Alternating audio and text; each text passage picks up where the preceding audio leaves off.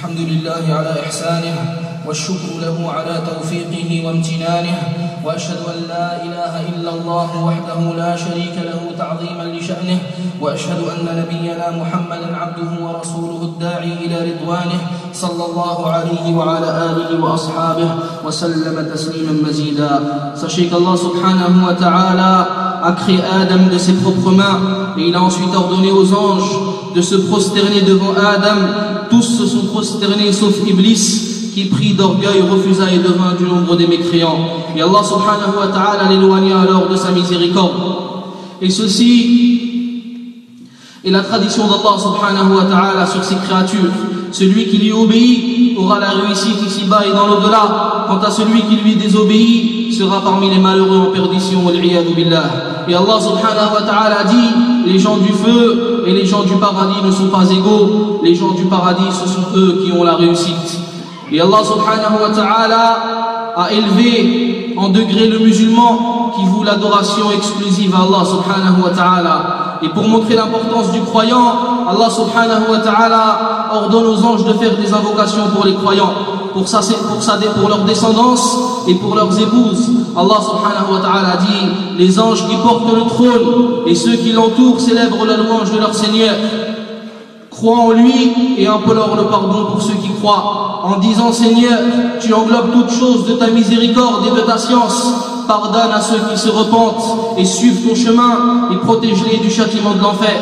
Seigneur, fais-les entrer au jardin d'Éden que tu leur as promis, ainsi qu'aux vertueux parmi leurs ancêtres, leurs épouses et leurs descendance. Et les prophètes, wassalam, ont imploré le pardon d'Allah pour les croyants.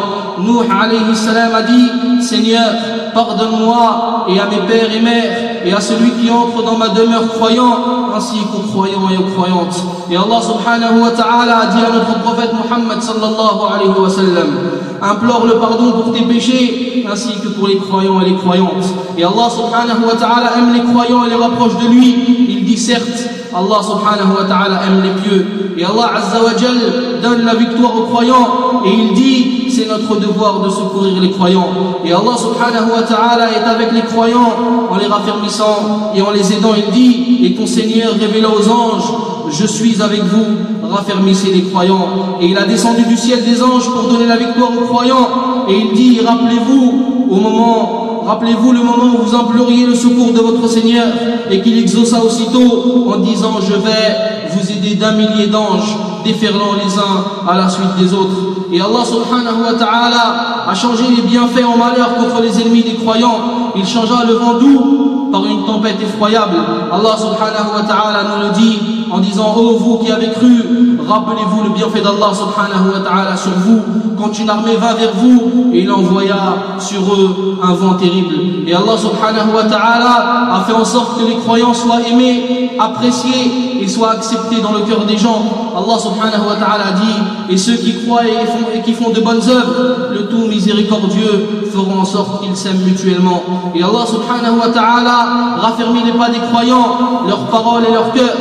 Allah subhanahu wa ta'ala dit, Allah azza wa jal raffermit les, croyants par une parole ferme ici-bas et dans l'au-delà. Et Allah subhanahu wa ta'ala préserve la descendance des croyants même après plusieurs siècles. Allah subhanahu wa ta'ala préserve la descendance des croyants même après plusieurs siècles grâce à la bénédiction de leurs bonnes actions. Allah azza wa nous dit en parlant des, des deux orphelins dans la surat, dans surat la caverne. Et quant au mur, il appartenait à deux garçons orphelins de la ville. Et il y avait en dessous un trésor qui leur appartenait et leur, père était un homme vertueux. Et du fait que leur père était un croyant, Allah subhanahu wa ta'ala leur permit de retrouver le trésor qui était enfoui sous le mur. Et Allah subhanahu wa ta'ala a promis une bonne vie aux croyants. Allah azza wa a dit quiconque, mâle ou femelle, fait des bonnes œuvres tout en étant croyant, nous lui ferons vivre une bonne vie. Et Allah subhanahu wa ta'ala fait en sorte que les œuvres du croyant soient bénies de son vivant et même après sa mort. Le prophète sallallahu alayhi wa sallam a dit Il n'y a pas un musulman qui plante un arbre ou ne sème une graine et qu'un homme, un animal ou une chose en mange sans que cela ne lui soit compté en aumône le jour de la résurrection. Muslim. Et le fait d'être proche du croyant est un grand bien et le fait de le visiter fait, fait partie de la meilleure des adorations. Le prophète sallallahu alayhi wa sallam a dit, quand un musulman visite son frère, Allah subhanahu wa ta'ala dit en parlant de cette personne, tu es bon et tu viens de t'installer une demeure au paradis. Ahmad. Et la blancheur de sa barbe et de ses cheveux sont une lumière. Le prophète sallallahu alayhi wa sallam déconseille de les enlever. Et il dit, ce sont la lumière du musulman. Et toutes les situations des croyants, bonnes ou mauvaises, sont un bien pour lui. Le prophète sallallahu alayhi wa sallam a dit, la vie du croyant est incroyable, car tout, car est dans le bien. Et ceci est spécifique aux croyants. Si un bien le touche, il remercie et c'est un bien pour lui. Et si une difficulté, et si une difficulté l'atteint, il patiente et ceci est un bien pour lui. Rawahu Muslim. Et les bonnes œuvres du croyant sont multipliées et ces épreuves sont des causes d'expiation de ses péchés. Le prophète a dit il n'y a pas une épreuve qui touche le musulman sans qu'Allah subhanahu wa ta'ala n'expie ses péchés. Même l'épine qui le pique expira ses péchés. Bukhari wa Muslim. Et quand le croyant tombe malade, ceci est une provision pour lui auprès de son Seigneur. Le prophète sallallahu alayhi wa sallam a dit quand le musulman tombe malade, Allah azza wa jalla enlève ses péchés comme le feu enlève les saletés de l'or et de l'argent. Rawahu Abu Daoud. Et les yeux du croyant, s'il les perd, sont pour lui une rançon contre le feu de l'enfer. Le prophète sallallahu alayhi wa sallam a dit Allah subhanahu wa ta'ala a dit Celui à qui j'ai enlevé l'usage de la vue, puis patient en espérant la récompense de son Seigneur, je ne pourrais être satisfait pour lui de lui donner comme récompense que le paradis. Et le corps du croyant est pur de son vivant, comme dans sa mort. Le prophète sallallahu alayhi wa sallam a dit Le musulman n'est pas impur. Rawahu al-Bukhari wa Muslim. Et personne parmi la descendance d'Adam n'est lavé quand il meurt, si ce n'est le musulman. Et celui qui suit son cortège funèbre et reste jusqu'à ce qu'il soit enterré reviendra avec l'équivalent de deux montagnes de Uhud en bonnes actions. Et casser les os des croyants morts est comme si on leur avait cassé vivant. Et le prix du sang d'un croyant est le double ou multiplié par rapport aux autres.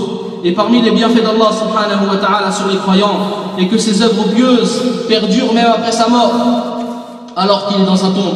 Le prophète sallallahu alayhi wa sallam a dit Quand la personne meurt, ses œuvres s'arrêtent, sauf trois choses une aumône qui perdure, une science qui est bénéfique aux autres, ou un enfant pieux qui fait des invocations pour lui. Rawahu Muslim. Et le paradis est réservé aux croyants. Allah Azza wa a dit Et on rapprochera le paradis des pieux. Et les anges les salueront aux portes du paradis en leur disant Paix sur vous pour ce que vous avez enduré, comme est bonne votre demeure finale. Et sachez que le grand mal est de dénigrer le croyant. Le prophète a dit Il suffit comme mal pour la personne de dénigrer son frère musulman. Rawahu Muslim. Et pour Allah subhanahu wa ta'ala, le musulman est sacré. On ne doit ni l'effrayer, ni lui causer du tort. Et toutes les choses qui pourraient lui causer un désagrément sont interdites. Le prophète sallallahu alayhi wa sallam a dit Celui qui passe dans nos mosquées ou dans nos marchés avec des flèches, qu'il mette les pointes dans sa main pour ne pas toucher les musulmans avec, au risque de les blesser. Rawahu al-Bukhari wa Muslim. Et les anges maudissent celui qui lève une arme sur un musulman. Le messager d'Allah, sallallahu alayhi wa sallam, a dit Celui qui lève une arme sur son frère, les anges le maudissent jusqu'à ce qu'il la baisse, même si c'est son frère du même père et de la même mère. Rawahu Muslim. Wa Nawawi, a dit Effrayer le musulman est interdit dans n'importe quelle situation. Et le prophète sallallahu alayhi wa sallam interdit toutes les choses qui peuvent rendre triste le musulman. Le prophète sallallahu alayhi wa sallam a dit Si vous êtes trois, que deux d'entre vous ne discutent pas seuls en délaissant le troisième, jusqu'à ce que vous vous mélangez aux gens, car ceci pourrait l'attrister. Rawahu al-Bukhari wa Muslim. Et si un musulman commet une faute, ne pas dévoiler son péché est une protection pour toi le jour de la résurrection, pour que l'on ne, dévoile pas tes péchés à toi. Et le prophète sallallahu alayhi wa sallam a dit Celui qui ne dévoile pas les péchés du musulman, ses péchés à lui ne, ne lui seront pas dévoilés. Ou ses péchés à lui ne seront pas dévoilés le jour de la résurrection. Rawahu al-Bukhari wa. Et, si des difficultés touchent le musulman, celui qui l'aide verra enlever ou se verra enlever une des difficultés du jour de la, de la résurrection. Le prophète sallallahu alayhi wa sallam a dit Celui qui aide un musulman, Allah subhanahu wa ta'ala lui enlèvera une difficulté parmi les nombreuses difficultés du jour de la résurrection. Rawah al-Bukhari wa Muslim. Et sachez que causer du tort aux musulmans avec sa langue est interdit. Le prophète sallallahu alayhi wa sallam a dit combattre un musulman est de la mécréance et l'insulter est de la perversité. Rawah al-Bukhari wa Muslim. Et maudire le musulman est comme le combattre. Le prophète sallallahu alayhi wa sallam a dit maudire le musulman est comme le combattre. Rawah al-Bukhari wa Muslim. Et celui qui accuse un musulman d'une chose sans aucune preuve est fouetté 80 coups de fouet. Et Allah subhanahu wa ta'ala a menacé celui qui cause du tort aux musulmans d'un châtiment douloureux. Allah azza wa jalla a dit celui qui cause du tort aux croyants et aux croyantes et qui ne se repent pas pour leur avoir causé du tort, eh bien ceux-là auront le châtiment de l'enfer et le supplice du feu. Et les biens des musulmans sont protégés. Ils ne doivent pas être spoliés, volés ou pris à tort et à travers. Le prophète sallallahu alayhi wa sallam a dit Tout musulman est sacré, que ce soit son sang, ses biens ou son honneur. Rawah muslim. Et celui qui jure à tort pour prendre les biens d'un musulman, Allah subhanahu wa ta'ala le jettera dans la fournaise. billah. Le prophète sallallahu alayhi wa sallam a dit Celui qui jure faussement pour empêcher un musulman d'obtenir son droit, Allah azza wa a rendu obligatoire pour lui le feu et lui a interdit le paradis. Et un homme dit alors, même une chose insignifiante, Ya Rasulallah, le prophète sallallahu alayhi wa sallam lui répondit ne serait-ce qu'une branche de siwak rawahu muslim et les biens du croyant doivent être respectés même après sa mort il est interdit de les donner à autre que ses héritiers qui sont musulmans. Le prophète sallallahu alayhi wa sallam a dit il est interdit aux musulmans d'hériter du mécréant et aux mécréants d'hériter du musulman. Rawahu al-bukhari wa muslim. Et sachez que le sang des musulmans est sacré auprès d'Allah subhanahu wa ta'ala. Et la première chose que l'on va juger entre les gens c'est le sang comme ceci est rapporté par le Bukhari ou Muslim. Et le sang du musulman est le plus important auprès d'Allah subhanahu wa ta'ala. Le prophète sallallahu alayhi wa sallam a dit le fait que cette vie d'ici-bas disparaisse, le fait que cette vie d'ici-bas disparaisse est moins grave pour Allah que le fait qu'un musulman soit tué.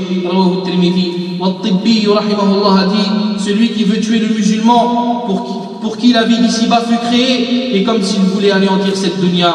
Et celui qui tue un musulman, c'est comme s'il avait tué tous ceux qui se trouvent sur terre. Allah subhanahu wa ta'ala dit, et celui qui tue une âme sans aucune raison, ou sans qu'elle n'ait commis de corruption sur terre, est comme s'il avait tué tous les hommes. Et le sang du musulman n'est licite que dans trois cas. Le prophète sallallahu alayhi wa sallam a dit, le sang du musulman qui atteste qu'il n'y a pas d'autre divinité digne d'être adorée en vérité si ce n'est Allah, et que je suis le messager d'Allah, est illicite sauf dans trois cas. Celui qui a tué une âme sans aucune raison, celui qui commet l'adultère alors qu'il est marié, et celui qui délaisse sa religion et le groupe des musulmans. Et faire couler le sang du musulman sans aucune raison fait encourir la colère d'Allah subhanahu wa ta'ala et sa malédiction. Allah Azza wa a dit Quiconque tue intentionnellement un croyant, sa récompense sera alors l'enfer pour demeurer éternellement. Allah Azza wa l'a frappé de sa colère, l'a maudit et lui a préparé un énorme châtiment. Wal-Qurtubi a dit Après la mécréance, après la mécréance, il n'y a pas une chose plus grave que de tuer un musulman sans aucune raison. Et ceci était certains des bienfaits dont Allah subhanahu wa ta'ala a gratifié les musulmans et certains droits que les uns ont sur les autres. Remerciez Allah subhanahu wa ta'ala de vous avoir guidé vers le droit chemin. Vous aurez la réussite ici-bas et dans l'au-delà. ثم اعلموا أن الله أمركم بالصلاة والسلام على نبيه الكريم فقال في محكم التنزيل إن الله وملائكته يصلون على النبي يا أيها الذين آمنوا صلوا عليه وسلموا تسليما. اللهم صل وسلم على نبينا محمد اللهم صل وسلم وبارك على نبينا محمد اللهم صل وسلم وبارك على نبينا محمد. وارض اللهم على عن خلفائه الراشدين الذين قضوا بالحق وبه كانوا يعدلون. أبي بكر وعمر وعثمان وعلي وعن سائر الصحابة أجمعين وعنا معهم بجودك ومنك وكرمك يا أكرم الأكرمين. اللهم أعز الإسلام والمسلمين. اللهم أعز الإسلام والمسلمين. وأذل الشرك والمشركين. ودمر أعداءك أعداء الدين. اللهم أصلح لنا ديننا الذي هو عصمة أمرنا. وأصلح لنا دنيانا التي فيها معاشنا. وأصلح لنا آخرتنا التي إليها معادنا. اللهم لا تجعل الدنيا أكبر همنا ولا مبلغ علمنا ولا تجعل مصيبتنا في ديننا. اللهم اشف مرضانا اللهم اشف مرضانا اللهم اشف مرضانا. واجعل ما أصابهم سببا لرضوانك عنهم يا رب العالمين. اللهم اغفر للمؤمنين والمؤمنات. اللهم اغفر للمؤمنين والمؤمنات والمسلمين والمسلمات الأحياء منهم والأموات. إنك ربنا سميع قريب مجيب الدعوات. اللهم برحمتك نستغيث. أصلح لنا شأننا كله. ولا تكلنا إلى أنفسنا طرفة عين ولا أقل من ذلك. ربنا آتنا في الدنيا حسنة وفي الآخرة حسنة وقنا عذاب النار. عباد الله إن الله يأمر بالعدل والإحسان وإيتاء ذي القربى وينهى عن الفحشاء والمنكر والبغي. يعظكم لعلكم تذكرون. فاذكروا الله العظيم الجليل يذكركم واشكروه على نعمه يزدكم ولذكر الله أكبر والله يعلم ما تصنعون.